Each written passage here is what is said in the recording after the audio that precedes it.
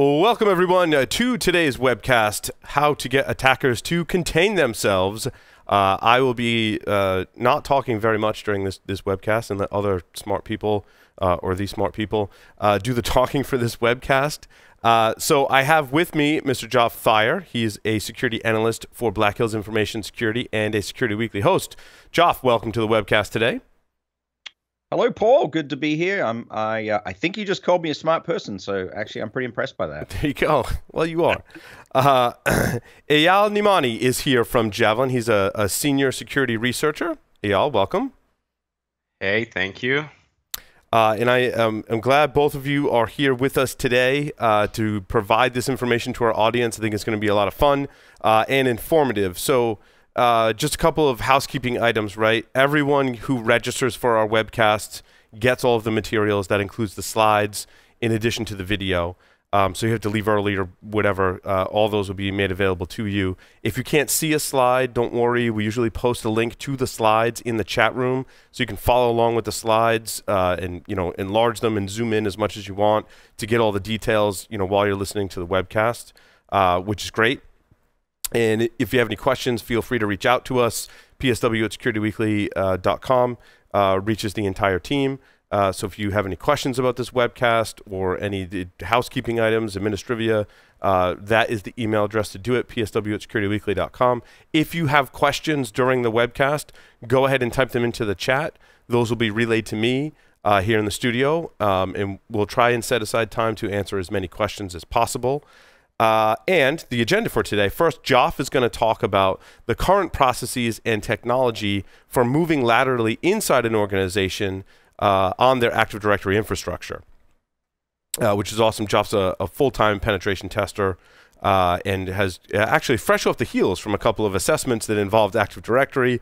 Um, so we get some war stories as well, which is great. Uh, then Eyal will talk about detecting and containing attackers inside of Active Directory. Eyal's got some slides in addition to a demo uh, on how, if you're on the blue team or you're on the red team and making recommendations to the blue team, uh, how you can contain this lateral movement, detect it, and uh, prevent it as well. Okay. Uh, my, again, my contribution here is very, uh, very light. I just wanted to talk briefly about Microsoft Active Directory. I don't have uh, exact statistics. Uh, if you engage with Javelin, uh, they have done the research for the adoption of Microsoft Active Directory uh, and have some great statistics around that that I've seen in their some of their previous slide decks. Um, but let's just go with Microsoft Active Directory is the most widely adopted directory service on the planet um, today, and it has the widest uh, adoption. And of course, you know, there's actual numbers to back that up. I think we're all in agreement. It's the most widely adopted and in the most enterprises today. Um, I think we can also agree that Microsoft was design uh, Microsoft designed Active Directory with usability in mind, with the ability to be able to share and access resources to speci specify what that usability is, rather than security and we call it insecure by design because it was designed to allow users to share stuff and gain access to resources. Um, once on the inside, and I think Joff will kind of skip that step, right? Usually we fish our way on the inside. If there's a physical or social engineering attack, those are two very tried and true successful methods for getting inside of an organization. The most common thing to abuse is Active Directory. Um, and they primarily attackers are using that to steal information right? Abusing credentials, stealing information, stealing intellectual property, uh, things of that nature.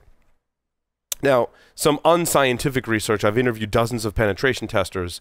Collectively across the board, um, penetration testers have told me that very few organizations have really secured Active Directory. It tends to be 1% to 5% of the tests that they're performing um, have, uh, you know, properly secured Active Directory. Uh, you know, recently we met with uh, Rapid Seven. Um, I've talked to uh, Jabra, Josh Abrams. Uh, all, you know, all of these folks, folks at Black Hills Information Security, you all have the same story with Active Directory, right? It's in every, almost every target that you're going after, depending on the scope of the engagement. And when it is, very few are able to secure it, which is why uh, we like to partner with folks like Javelin and do these webcasts and various segments on Active Directory security. It's one of the major problems I think and security challenges that most of us have today. So with that, I'm going to turn it over to Joff, who's going to present the first part of this webinar today uh, and talk about moving laterally and some tips and tools and techniques that have been successful. So Joff, take it away. All right. Thanks very much, Paul. So, uh, yeah, Paul asked me to join in and uh, contribute a few slides to the webcast today because, as already stated, um, you know, I spend a fair amount of time performing penetration tests, uh, which include uh, a lot of internal testing and a lot of uh, what we at Black Hills call uh, uh, command and control and pivot testing. So, the way I'm going to talk about this is we're going to assume that we do have a, a position in the network. And as Paul just stated, um, that gaining that position in the network uh, may be through any number of mechanisms um, commonly done today, uh, you know, with uh, email phishing, uh, things like running HTA, HTML, HTML applications from Internet Explorer, uh, to run, uh, you know, DLLs dynamically loaded in memory, to drop shellcode uh, into memory that might be something like a Cobalt Strike, or it might be a Metasploit C2 channel, might even be a PowerShell Empire channel, just something to give us a shell access uh, into that environment, and that is the starting point. And of course, the starting point in uh, most of these environments that we're penetration testing is likely to be a non-administrative uh, regular user in the environment. Now, if if the user is already administrative, um, you know, penetration testers and attackers uh, are sort of going to jump up and down and get very right. excited. Yeah, saves you a step. Saves you a step. And, and the feedback that I've heard, Joff, a lot of times when we talk about these techniques is folks will say, well, that requires, you know, local administrator privileges. Still today, privilege escalation on Windows is not all that difficult, right? There's lots of ways to escalate privilege a, on a Windows machine. Well, I, th- I think it, it depends um, eh, on, on the environment, of course, on the mm-hmm. environment maturity. Um, and, you know, as I just alluded to, in some cases, uh, you drop into a desktop and you're already administrative uh, right. locally, which is, uh, uh first of all, very bad practice. If anybody mm-hmm. listening uh, it has an environment that's in that situation, then you need to start doing the work immediately to to lock that down and and and drag that administrative privilege away from from the users. Effectively, though, you know, once we've landed that position, um, there's essentially uh, three things that that we're actually going to do here, and we're going to try to escalate. Sorry. Yeah, yeah go ahead and say next slide, Joff. Sorry, when when you're ready to go to the next slide. I didn't even think about it. Yeah. We're going to, you know, we're going to perform some some reconnaissance activity um, more than likely, and that reconnaissance activity um, is going to involve uh, m- much of Active Directory, to be honest, because Active Directory is a source uh, of a wealth of information in in that environment. The other step that, as an attacker, we're going to do if we haven't already achieved it uh, is we're going to attempt to uh, escalate our privileges. Now, escalating our privileges could be escalating local privileges, could be escalating uh, on a domain basis the privilege, or even both. Uh, you know, really depending on which vector of escalation attack uh, is is successful. Um, and then the third thing we're going to do once we have obtained some privileges is we're going to attempt to move laterally in the environment. And for the most part, moving laterally in the environment pretty much involves starting a process on a remote system using that privileged credential that we have, atta- have obtained. Now, that process that we start on a remote system is more than likely going to be another command shell process that is relaying traffic back through our first system that we have compromised. Um, next slide, Paul. Yes, sir. So, with respect to recon, just to break it down a little bit, you're often going to see penetration testers and attackers uh, use a combination of techniques that involve either living off the land uh, and or involve some PowerShell or .NET enabled tools that are going to leverage uh, ADSI and LDAP information fairly extensively. When you're living off the land, uh, you're really talking about SMB protocol, RPC DCOM communications back to the Active Directory. Uh, net group group name, for example, is going to bring us group information uh, about that environment. It involves us having some sort of cmd.exe, having some sort of shell access, right, which we can fork or spawn off of our C2 channels. Uh, net account slash domain will give us the account policy. Net local group, a, a, a local group name will give us the members of that local uh, administrator group as an example uh, to see maybe if we're in the administrator group already. Uh, net users is very commonly used to give us a full list of accounts within that environment. And then uh, our friend netview slash domain and even net use I didn't put on there, but netview is going to potentially give us a view of systems. Now, as opposed to living off the land using the net suite of commands, we can also use various PowerShell scripts that are accessing uh, the wealth of uh, information that we can get from uh, from .NET, uh, and it's there's there's a number of frameworks that are now written out there, um, very very useful. One of the popular ones is uh, PowerSploit, uh, also combined with the PowerShell Empire project. What I tend to find myself doing when I'm in an environment and starting that reconnaissance process is actually build myself a small cradle that is simply designed to download a base 64 encoded PowerShell script and put that script block into memory so I don't end up writing any PowerShell script evidence to disk on, on that environment. So it's interesting, Geoff. Basically, internally, you build your own dropper so you can encode PowerShell and drop it onto systems and run in That's memory. right. That's right. And, and, and it literally can be just a couple of lines of PowerShell um, Sure. that you're that you're just executing. Um, and then the only other uh, thing that you need to do, obviously, is have some sort of uh, TLS web listener out there, or even plain text HTTP. I want to get to that in a minute. Mm. That is hosting the PowerShell scripts in base64 encoded form, allows me to bring them down. And as soon as I get those script blocks into memory, I can then use various applets to start performing reconnaissance around the environment. Now, the reason I mentioned TLS versus non TLS, something that we've been discovering recently is people are getting a lot better about securing their TLS in their environments. Uh, and they're doing things such as making sure the certificate has to be legitimate. They're even doing things as uh, as in checking the uh, domain age. They're checking um, that uh, you are truly using a domain name through a perimeter proxy instead of just using an IP address. So I found myself recently kind of tilting back to good old fashioned HTTP Hmm. and doing things like double encoding the PowerShell scripts and pulling down that information. So, very good timing on the next slide, Paul. So, naturally, once we have pulled some of these things into memory in the case of PowerShell, we're going to start some recon, um, such as invoke share finder out of the PowerSploit project, invoke file finder, and these things are going to run around looking for uh, shares and files and information out of that environment. There's also getnet user and get getnet group and so forth. And what you're going to see is a- lot of uh, a lot of LDAP and ADSI queries uh, will be generated out of the uh, LDAP, you know, orientated uh, scripts. A lot of them are ADSI written, and um, those queries are going to uh, not look as normal as regular user traffic. Users will do these kinds of queries, but not in this volume, uh, typically. Um, so you know you'll see two types of traffic, right? Um, not not exclusively from a network perspective, but just in general in the environment. You're going to see your RPC, DCOM, and SMB2 requests all going to the domain controller environment with these SAM account management requests, especially for the net commands. And you're also going to see all this LDAP and ADSI queries coming from the various PowerShell tools that that I would be using.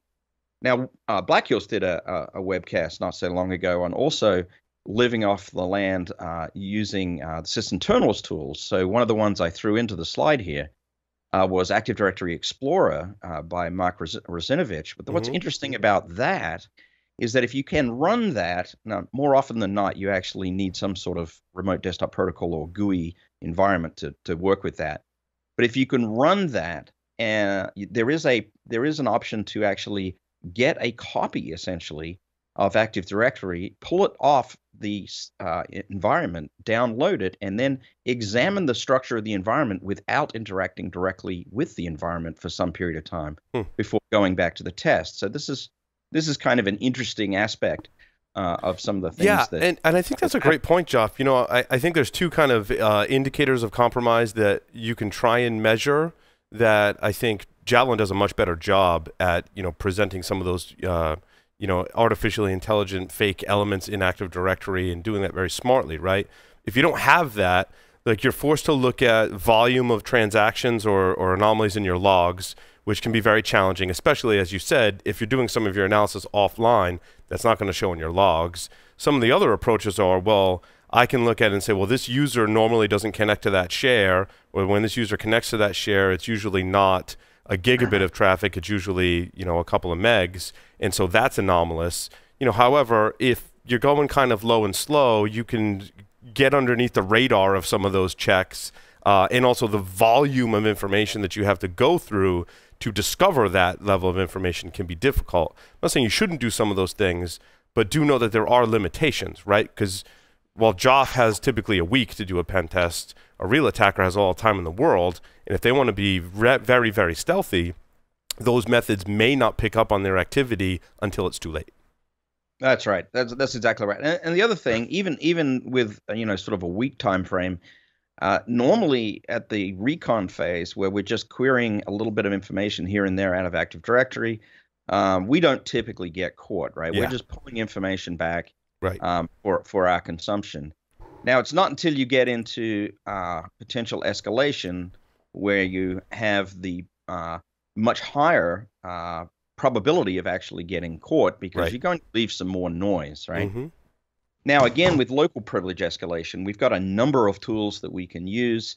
Um, uh, Powersploit folks and you know Matt Graber and crew, really, really good toolkit of stuff they've got there.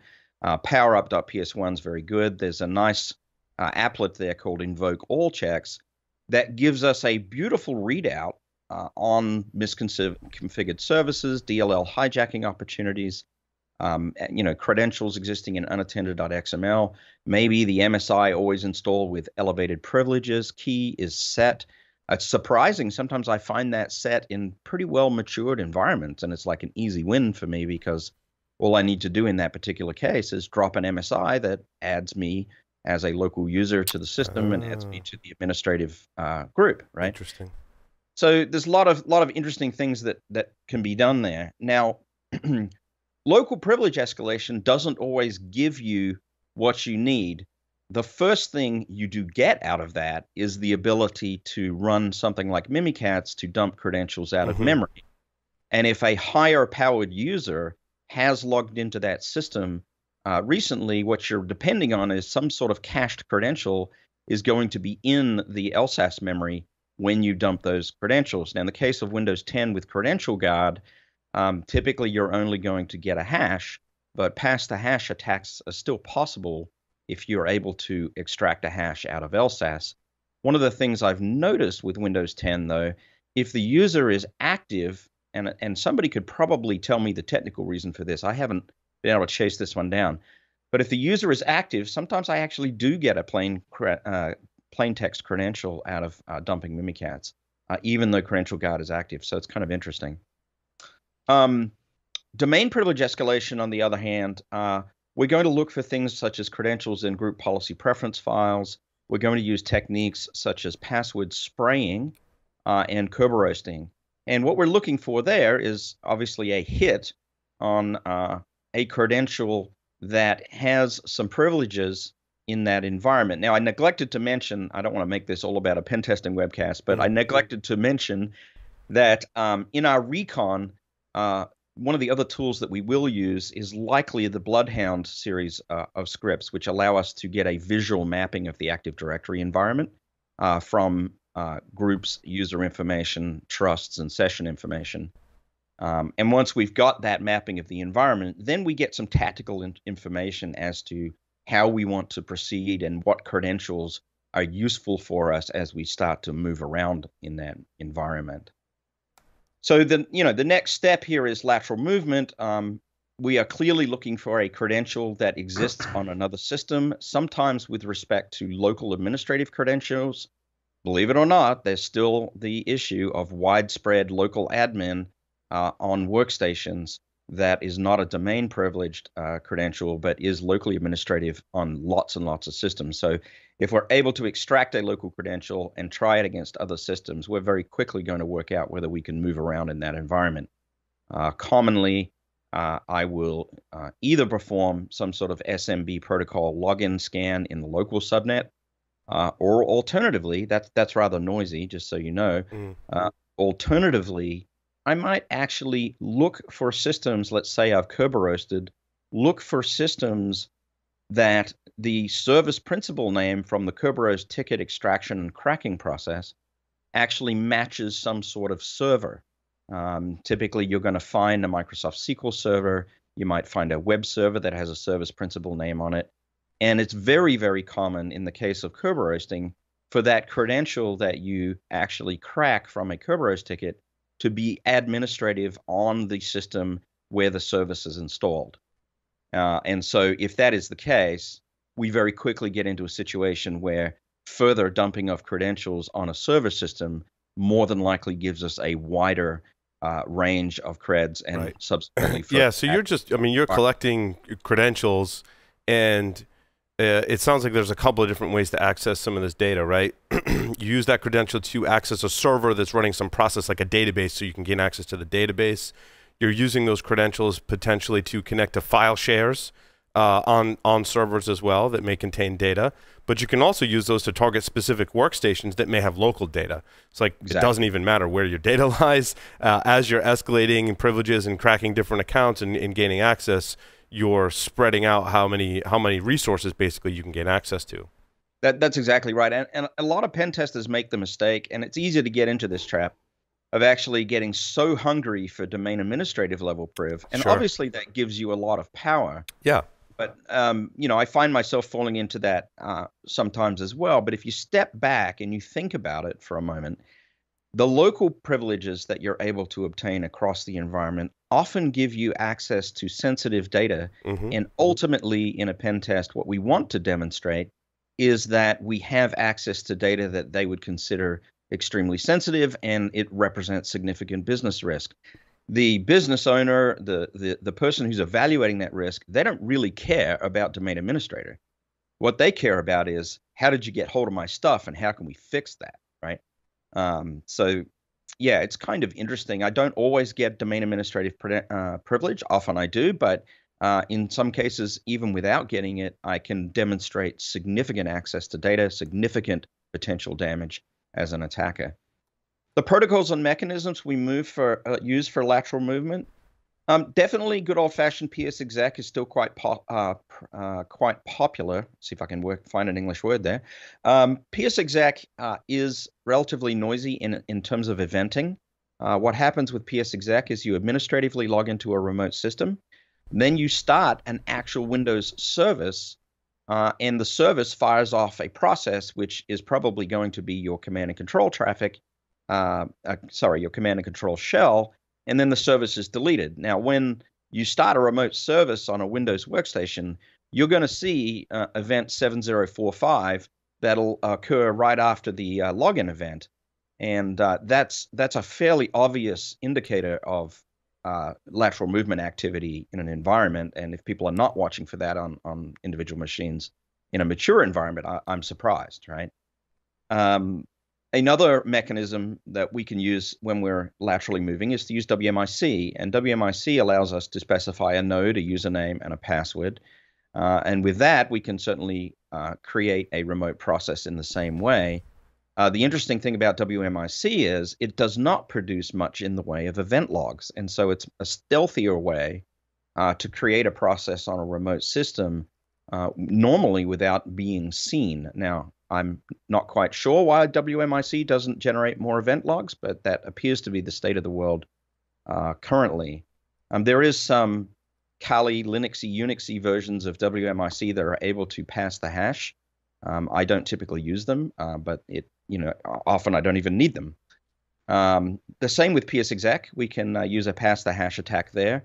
Remote desktop protocol uh, can come in handy if if some of these other avenues are cut off. I've seen environments where people do enforcement on SMB protocol. They don't allow uh, TCP port 445 to go laterally across the network, and they they're doing they're doing horizontal segmentation, if you like, uh, which is a very very good move. It helps uh, lock things down. But what you often find is that Windows Remote Des- Desktop Protocol over uh, TCP 3389 is very commonly allowed to servers, and so you just change your tactic and you go after the servers instead of going after the uh, lateral systems in the environment. Uh, Windows remoting over HTTP and HTTPS in uh, more of the Win 10, Win 2012 kind of environments. And then there's some really interesting lateral move uh, movement techniques uh, using DCOM, uh, DCE over over over again TCP 445, where you, where you can do some things like create uh, related documents. You can create XLL, which is Office documents loading DLLs uh, with uh, Excel or Windows. Uh, you can create objects through Outlook and so forth. So there's there's lots of interesting techniques that you can use to, to, to laterally move to actually essentially create processes on remote systems because that's really what the lateral movement piece of this is about. It's about getting that access as a privileged user to then create a process on the remote system and do with it what you need to do. So next slide, are we out? We're javelin time. Okay. Well, I think I've used up my time all the way up to about 25 minutes, so our timing is good. Uh, so with with that introduction, uh, I'll throw it back to you, Paul, and uh, we'll let Javelin uh, have, yes. have a shot and here. Uh, now I'd like to turn over to Clayton. Uh, Clayton's joined us. Clayton Fields. Clayton, welcome. Hey, Paul. How are you? Good. How are you, Clayton? I'm good. I can't see the slides, so you may have to prompt me. Uh, I just Okay. see the white background, but very, very good to be on. Uh, appreciate that great overview on pen testing. You know, he highlighted why uh, domain security is such a big issue today, and um, you know, very, very appreciative for him providing that perspective. Yeah, that was really a great job on how the attacks work. Uh, I think it's now very interesting to talk about how we actually protect our environments against these types of attacks. Uh, and you're on the slide on top recent campaigns, Clayton, just so you know. Okay, great. So I, I just want to talk at a high level, uh, five or 10 minutes, and then I want to give the, the floor over to Eyal where he can provide lab demonstration of some of these concepts that, um, that we're referring to. So the, the first thing we always like to start with is, is just a level set with the community that, you know, every security company that you're reading uh, threat briefings from, and most red teams will tell you uh, Active Directory is not only the most popular attack surface, but the largest attack surface. And this is often a really misunderstood uh, discussion point. Um, if you can flip to the next slide. The reason it's misunderstood is that um, a lot of people think the attack surface for AD is the domain controllers. They think, you know, well, it's it's not an endpoint problem, it's a domain controller problem, and the CISO says, well, I don't really own that. You know, CIO owns that. Um, so they, they kind of point fingers at each other about you know who owns this problem. Uh, this is a joint problem. Uh, it is it is an infrastructure problem because you have something that's you know vulnerable by design. Any any directory service that trusts the user uh, is going to have some you know by design vulnerability and exposing data to compromised users. And uh, it also helps the attacker learn the environment um, from any endpoint, any connected user. Um, so these are examples, you know, why it's the largest attack surface and, and most common. Um, and if you'll flip to the next slide, you know, what, what Javelin uh, wants to do and is doing today is using zero detection uh, cyber resiliency concepts, uh, which I have to give a shout out to MITRE. You know, they're doing a lot of great research uh, around th- this issue and, and how to build compensating controls around these issues. Um, so, you know, talk to your local MITRE folks if you if you have them, but um, zero detection cyber resiliency basically says, you know, build containment strategy that does not care how your adversary compromises your endpoint. And this is really a game-changing conversation for the defender because today, all the machine learning technologies and all the AI technologies and all the signature-based technologies, behavioral-based technologies, they're making the assumption that they know something about the tradecraft that's going to be used in that attack. And we have to stop making that assumption. Uh, we have to start realizing that there's always going to be something new. Software is created by people, it's never going to be perfect. Um, so start building compensating controls that allow the defender to contain the attacker without pre knowledge of how that endpoint, how that user is going to be compromised. And so this uh, concept, this cyber uh, resiliency concept, zero detection, uh, is something Javelin fully embraces. You know, we want to uh, empower the defender to contain compromises and breaches without having to have pre-knowledge uh, of their adversary and, and, worry about what new tactics are going to be used against them in the breach uh, process. In other words, I don't care the kind of dynamite you use to open the door. I don't care what kind of social engineering you use uh, to expose the user. Uh, I don't care what your memory exploit looks like. I don't care what your script looks like. Uh, if you use Active Directory to get off that box, uh, Javelin's going to get you. And, and, this is our methodology. Um, this is what AL is going to demonstrate uh, when, when we get into the lab in just a few minutes.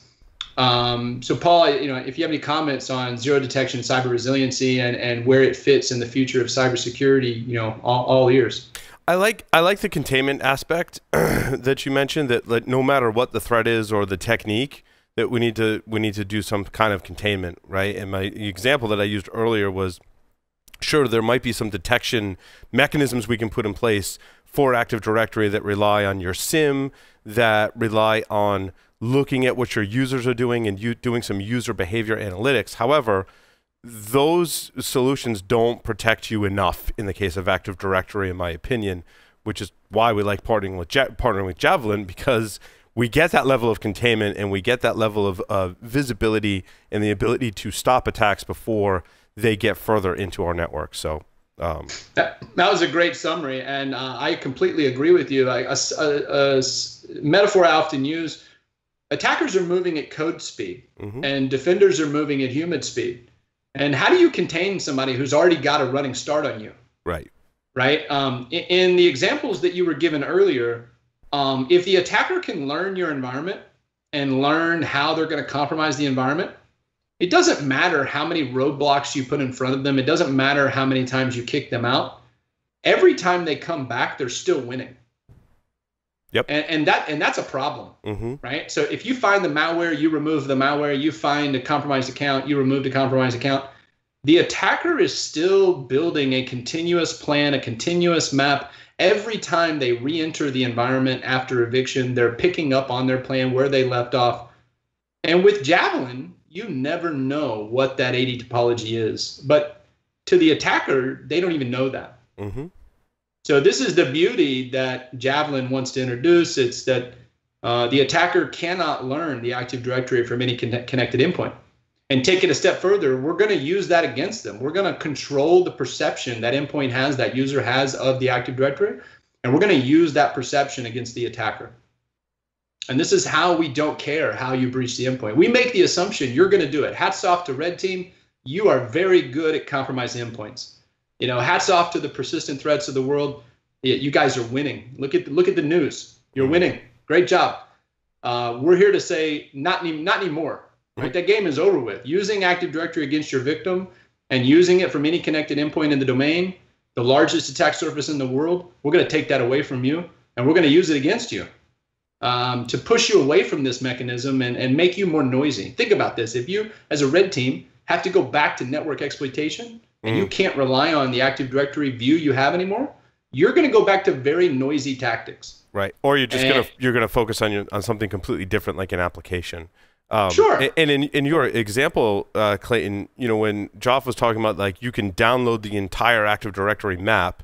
Now, uh, Javelin does make that uh, difficult, but if you manage to get a map, if you, you have the, the Javelin product, it's it, when the uh, t- uh, red teamer or attacker is studying that, they're studying fake information. So as you're planning well, they're studying out, javelin. Yeah, they're studying javelin, exactly. and, and, we want them to study javelin. We right. want them to do this. I, I, I welcome the pen tester red teamer. Download the view of Active Directory. Feel free to do that. Take take every service ticket you can, because uh, when you try to move laterally, when you try to use what you have, the probability we catch you is greater than ninety percent on your first move. Mm. And every move you make after that, the probability is in my favor. So I encourage Red Team take all that information you want uh, because they don't even know we're controlling it. Uh, this is a great analogy, Paul. So in terms of the uh, the rest of the the deck, I mean, really, what it's focused on. You look at the kill chain. I mean, we are uh, very focused on the middle. We we find a lot of products focused on the beginning and the end. You know, there's next generation AV, next generation EDR, you know, lots of uh, cool features for the beginning and the end of the attack process. But if people are losing the fight in the middle. You know, it's the fight that they don't even know they're in. When the when the guys in black suits knock on the door and say, "Hey, you know, you've got a major problem. Uh, mm. I've got a subpoena for these IP addresses. Can you give me these computers?" You know, these are the breaches. Nobody knows they're even in the fight, and they're losing the fight uh, that that they don't even know they're a part of. And so we want to uh, really enable the defender to know that, hey, you're in the fight. Whether you like it or not, this guy is, is winning. And here's how he's winning, and here's how we're going to beat him. Uh, we want to automate that process. So make it easier for the blue team uh, to contain the red team and, and, and the, uh, the APT, stop them from continuing this process uh, or force them back into slower, older school methods that are much more uh, noisy and, and other products are already capable of detecting today. Um, so visually, what this looks like, if you flip to the next screen, what Eyal is going to show you in the lab uh, in about two minutes is, is how we control the attacker's perception. And this is how we allow the attacker to contain themselves. Um, so we're going to control the perception that the endpoint has of the service accounts, the privileged user accounts, the admin accounts, the file systems, the SQL servers, the Oracle servers, the ERP, the CRM.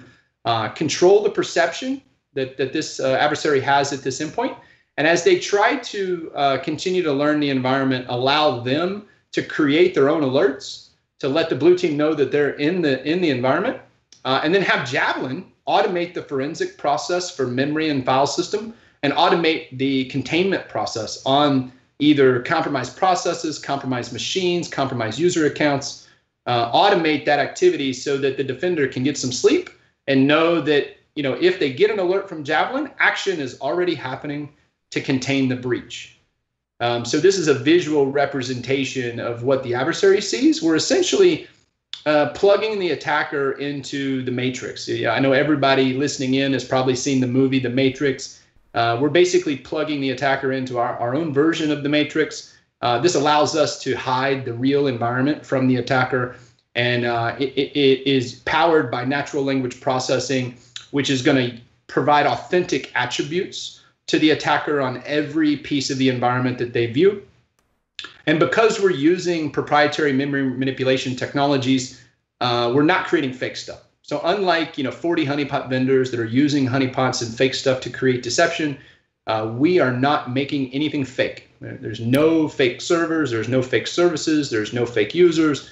Um, we're, we're not changing the Active Directory structure. We're not introducing pain to the administration of Active Directory. Uh, and, and, we have infinite scale here because we're just putting text uh, on a screen. And Clayton, so, uh, there was a question about how containment works, and I, I think if you could spend a, a, minute or two talking about how Javelin integrates with the environment, uh, the Active Directory environment, how the, there's no requirement for an agent that you're doing that hooking process to be able to uh, put yourselves in, in the position in Active Directory to do the detection and containment. Yeah, that's a great question, uh, Paul, and happy at a very high level to talk about that. Mm-hmm. Obviously, the bad guys are going to watch this podcast, and, and I have no desire to give them the right. secret magic, the secret magic of Javelin. So, hey, all you bad guys watching, just know I'm there, and, and you're not going to find me. Um, so, you know, we're using uh, techniques to control the outputs at the connected user of the queries. So um, it's all driven from the Javelin virtual machine. So client provides us a virtual machine uh, they apply a policy on the Javelin application running on that machine of what endpoints they want to protect. We give them that map from their own Active Directory. So we are, from an AD perspective, we are read only. The only thing we're doing is consuming information about the environment. That's the only thing we're doing to Active Directory. We're taking that information, we're creating the mask, uh, we're using the authentication process of AD to drive the trigger mm-hmm. to deploy Javelin. So when a user uh, types in username, password, authenticates to the domain controller, the Javelin server is going to see that. Notice I said see it. We're not a proxy. We're not changing how it works. We see it. We connect to that endpoint using uh, uh, readily available protocols, uh, and we deliver uh, the injection. This injection is uh, is not viewable by the operating system, so the user or the attacker will never know that Javelin exists. There's no operating system presence of Javelin. Uh, there's no running process. There's no persistent agent. There's no uh, file system, you know, Javelin folder, etc. This is not like other security tools. Uh, this injection is not persistent, so it's going to exist as long as the user's connected to the domain. Uh, obviously, when the user disconnects from the domain, there should not be a view of the domain. That would give away that something weird is going on. Um, so Javelin is not persistent when you're off the domain uh, and Javelin only exists when you connect to Active Directory. So any threat living on an endpoint that comes to an environment after infection and tries to connect AD The new view they're going to have of AD is controlled by us, which means that we can find the new things that are coming into the environment from uh, infections that happen, you know, offline. The containment is also driven from that machine. So when the attacker alerts on themselves interacting with the, uh, the, the image of Active Directory they have, uh, the forensic process is going to run. It's about 90 seconds. We give you memory analysis, file system evidence collection. So we're going to give you shell content from things like Python, PowerShell, command line. Um, we're going to give you file system information, changes to the file system, things that have dropped to the file system. Uh, we're going to give you the offending processes. We're going to give you the Kerberos tickets in memory that are compromised, the cached user sessions, the connected users, cached credentials, um, all the juicy data that you need to defend your Active Directory. Which, when I talk to companies, it's really hard for them to pull all that together in 90 seconds on a, you know, actively compromised box. Once that forensic process executes and is finished, again, about 90 seconds is average. Um, the application is going to launch a containment process which has different uh, layers. So the most popular layer is process containment, where the Javelin virtual machine is going to inject into the compromised process and basically sandbox it from the environment, uh, deny it access to the network, deny it access to the domain. If that process, that compromised process, if that's a bot, the game is over because uh, that bot has no connection anymore if the local machine is compromised, you know, there's persistence on the local machine. It's, it's not just a hijack process or some kind of reverse shell. There's actually a, a local persistency on the box. Uh, you need to contain the user account, machine account, and device. Now, obviously, that's user disruptive, right? The user's machine is compromised. Um, there is no other option. You've got to get that machine offline as fast as possible and, and disable the accounts that were cached on that machine uh, and start your investigation. So we can automate the rest of that if the client wants to. It's up to the client how invasive to the endpoint they want to be based on their tolerance for risk. Uh, but at a high level, this is the process that Javelin undertakes after the alert's created. All right, uh, Clayton, did you want to turn it over to uh, Eyal for the demo I, portion? I did. So I think the, the most fun part about Javelin is Eyal. Uh, this guy is a forensic guru, um, used to run an IR program, has been a former military. You know, when he talks about you know, breaching an environment, this is real world stuff. Uh, not to say that he's got personal experience. I'll leave that to him to confirm or deny. But um, when, when, you when you look at you know how he describes the problem and how we uh, get smack in the middle of the problem, it's a great demo. So Eyal, uh, take it away for us. You hear me, by the way? Yes, we can hear you. All right. So let's jump right in. Uh, Clayton made a whole introduction, so I don't need to explain anything. I'm just gonna show you how, uh, yeah, how we can detect all of that and how attackers will be acting without Javelin first. So I'm gonna share my screen right now.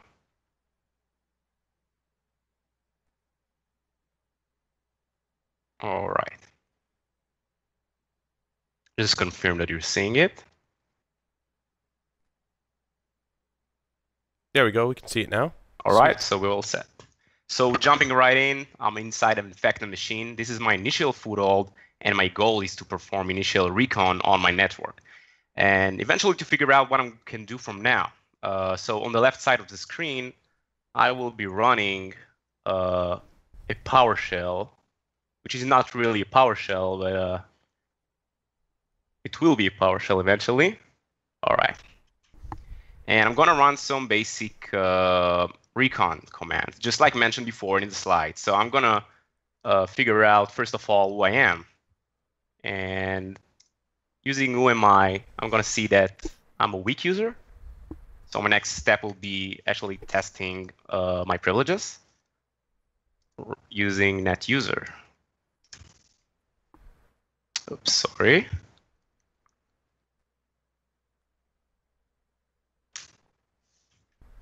And as you can see here, I'm only a domain user. That means that I have no privileges uh, at all inside the domain.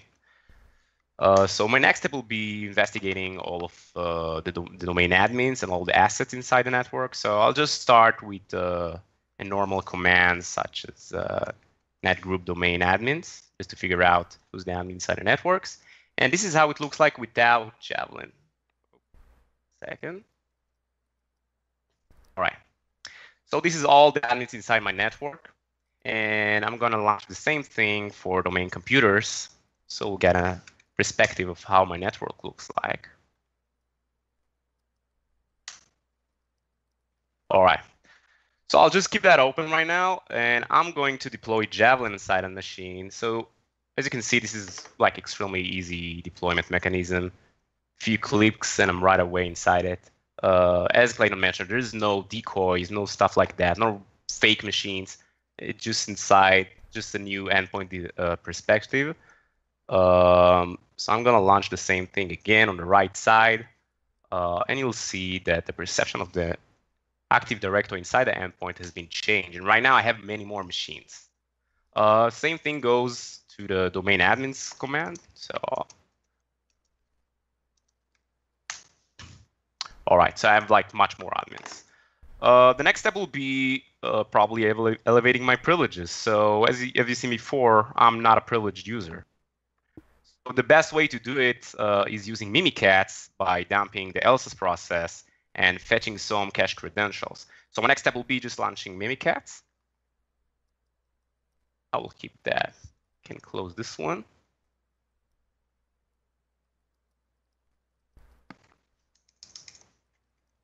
And by one liner, I will be dumping some credentials. As then you can see, uh, I have the weak user over here with its clear text password. If it wasn't a clear text password, then I'll get a hash or a ticket. It doesn't matter. Just for this uh, this explanation, this demonstration, I'm going to use this one. So um, you can also see the PAP admin. Uh, my next step will be uh, fetching these credentials, saving it on the side for next use. And right now, what I'm going to do is check the credentials of uh, PAP admin if they're if there are privileged credentials or not. So I'm going to launch the same thing.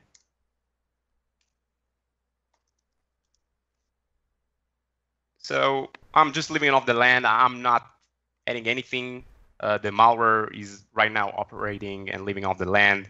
There is no additional tools being used here. And as you can see, uh, it seems like the cached user inside the memory that I just dumped from the LSASS process uh, has domain admin's privileges. That means I can use it to access the DC, access any endpoint inside the network without any problems. So that's the perspective that we want to give to the attacker once Javelin is deployed, right?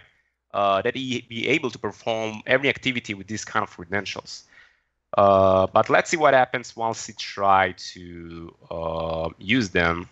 So my next step will be also just to make sure I'm, I'm gonna use um, PowerView suite that is utilized by uh, by Bloodhound and PowerShell Empire uh, to view all the all the information about the user as well.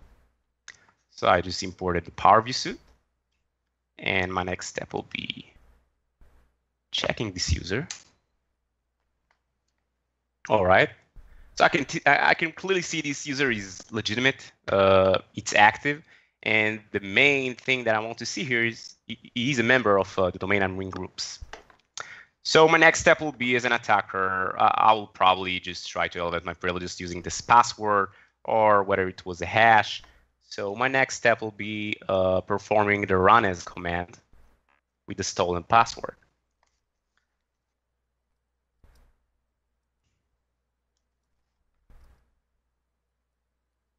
All right.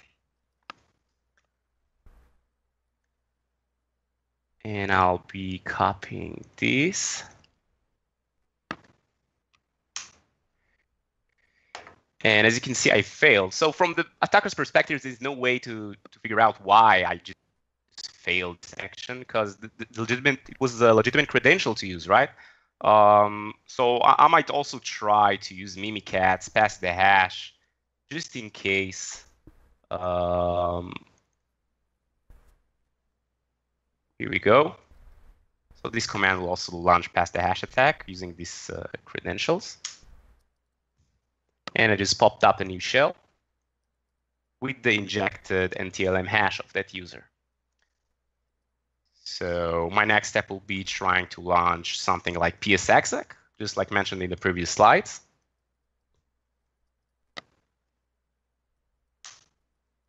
And again, I get the same result. So I'm, I'm contained inside the endpoint. There's no way I can do anything, any type of lateral movement, any type of real recon. Uh, I, I, can't just move outside my my own uh, endpoint. I'm contained inside the fake perception that Javelin just created. So uh, the next move will be uh, maybe trying to fetch some information about other endpoints inside the network. So I'm going to close these first of all. I'm going to just pop up a new shell. And I'll be trying to import in PowerView Suite again. But this time I'm going to get all the net domain computers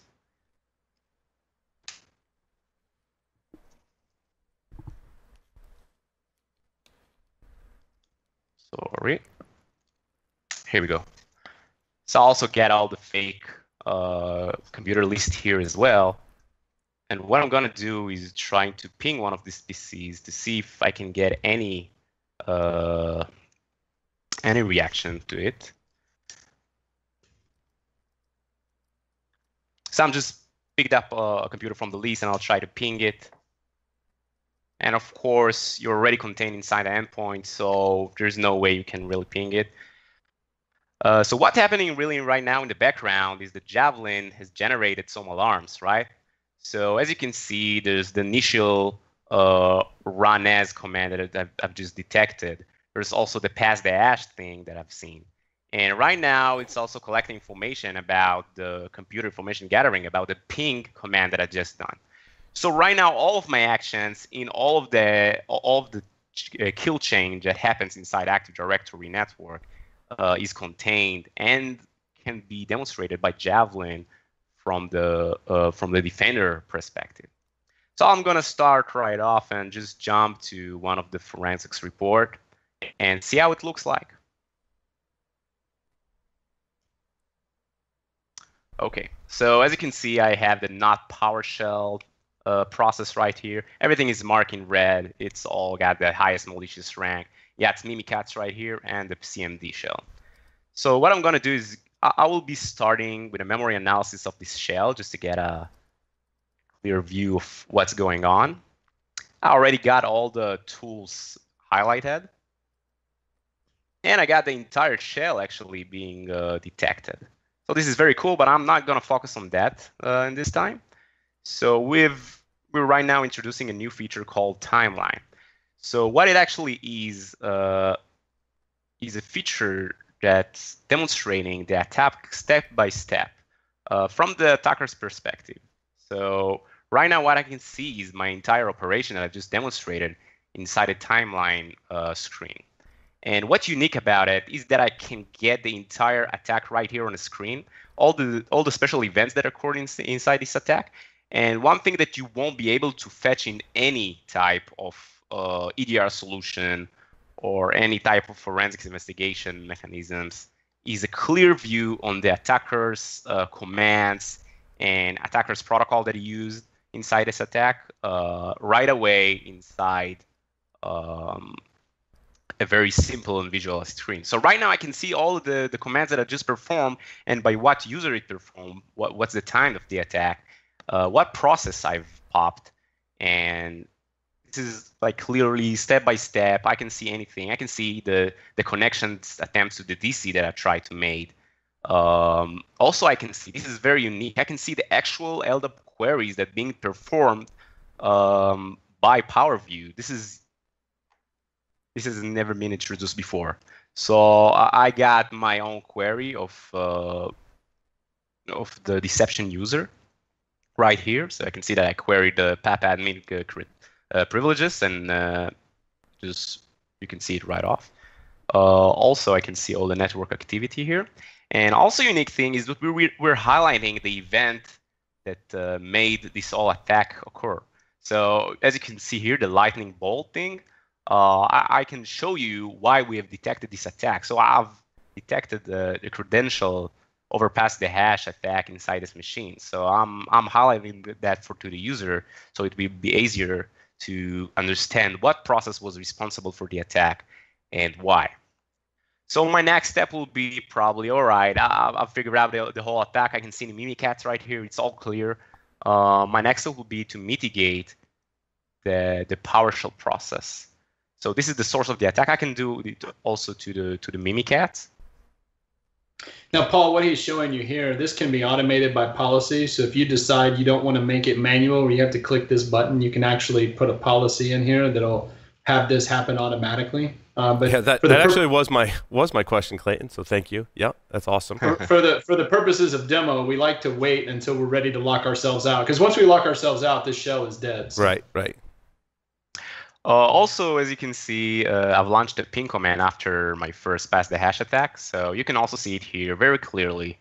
Um, and once I'll try to hit the timeline again, right now it's updated, and I can see that someone tried to access a fake computer. And you can see it clearly here, uh, the same computer that I used and what command I used. So it was ping, right? And I got all the evidence to convict the victim, right? I, I got everything right now. Um, my next step is just to contain this process as well. So these are already mitigated. All right. And while he's showing you this, I want to highlight the fact that you know he's talking about uh, not PowerShell.exe.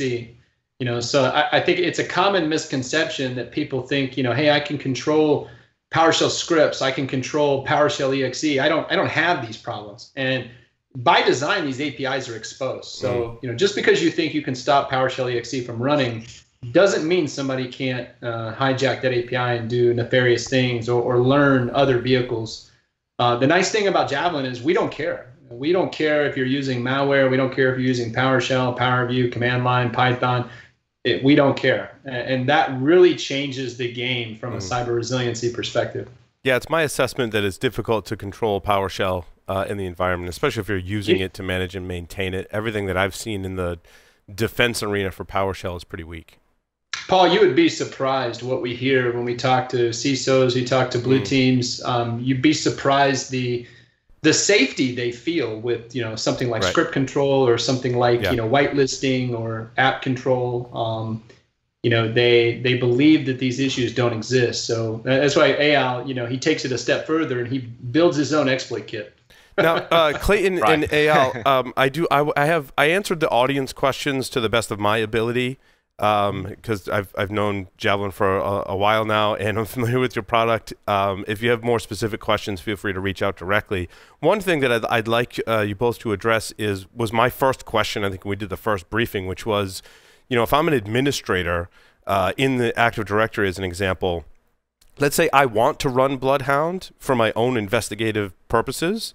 Uh, how do I do that and, and kind of sidestep uh, securely sidestep the, the Javelin uh, AD Protect product to do that. So yeah, I mean we've we've got a ton of best practices about how to use Javelin. Um, we're not going to talk about exactly how to do that here because I don't want to expose to the attacker how you're going to try to bypass Javelin. Sure. So that's fair. Eyal, that's fair. Eyal, let, us not demo that. But anybody on right. anybody on the webcast listening, uh, we've got plenty of best practices on how to do that. Um, sure. We can make it non-invasive for the uh, defender uh, and also for a pen tester. If you, mm-hmm. if you want to pull Javelin down because you know we're going to catch the pen tester if he uses AD and, mm-hmm. and you don't you don't want to challenge him that that hard, uh, we can we can show you how to expose you know only the real topology to just the pen tester. Gotcha. Um, so awesome. we've got a lot of customization on how we control the perception and a lot of policy options. Um, and we even build new features for customers. So if the customer, you know, tells me, "Hey, Clayton, you know, all these great options you have, I need something a little specific for me because this is how my team works." Uh, we've even added features so that we can support, you know, client uh, requests. So let's just let's just say that that's not a problem. Um, okay. That's that's the smallest problem that would exist in a client environment. Okay, that's fair. And Paul, it's a common question because AD admins get really nervous when you start yeah. talking about masking Active Directory. The admin is going to fall over in his chair and probably try to quit at the same time. um, so, so we want to make sure people know we're, we're not changing AD. We're not going to make the security team's life harder. We're not going to make the admin's life harder. There's a, a lot of customization. Keep in mind, you're dealing with security professionals at Javelin that have been doing this for over a decade. So we we're not um, we have familiarity with all the common challenges admins have, and, and we've uh, tried to address every last one of them in building building AD Protect. Awesome. So uh, we're coming up to the top of the hour. Uh, Clayton Eyal, um, I want to make sure you you've uh, covered everything you want to cover for this uh, section of the webcast. Yeah, so we did. Awesome. What we've shown here is uh, is how we control the perception, how that um, control is going to make it difficult and allow for better true positive signals uh, to the to the blue team. Uh, these better true positive signals are going to be accompanied by you know leading edge forensic intelligence about what's happening in the compromise and uh, containment processes to automate what happens after that, so the defender can breathe um, and remediate less. You know, Javelin's goal is less remediation, faster containment, uh, and and the ability to create your own threat intelligence. I think that's the last kind of comment I would make to the audience. You know, it's great to buy intelligence from other companies, kind of know what other companies are seeing and dealing with. The best intelligence you can create is your own intelligence. These are attackers that are coming after you. These are attackers that are successful breaching your perimeter and the best intelligence you can create in your security program is about those incidents uh, because they are specific to you and could be that somebody's using something against you they haven't used before because they don't want to be caught. Um, so zero detection cyber resiliency is going to raise the table stakes for the attacker. It's going to make the defender's job much easier. And, and we're just on the cusp of this revolution in 2018. And if people want more information and to set up a demo, uh, you can do that on the Javelin Networks website. That's javelin-networks.com. Uh, so if you have Active Directory and you're experiencing some of these challenges, uh, you know the team would love to, to work with you uh, at Javelin. So javelin-networks.com. I'm assuming you, there's a, a, contact form they can fill out. Tell them you heard about us, uh, heard about Javelin from Security Weekly, and uh, this was awesome. This was great. And something easier than that, if you just want to send an email to hello at javelin-networks.com, again, that's hello at javelin-networks.com, uh, you'll get a response the same day, and you don't have to uh, visit the webpage. There you go. Awesome. Well, Clayton and Eyal and Joff, thank you so much for participating in the webcast today. Uh, I thought it was awesome. I, I learned a lot, certainly, and hopefully that means our audience did too. So thank you, everyone, for listening and watching. And again, if you, you missed portions of this, um, we will be sending you all the materials. If you saw something in the slides or the demo that you wanted to dig back into, you'll have a, a high definition version of the video uh, in addition to the slides so you can dig back in. So thank you, everyone.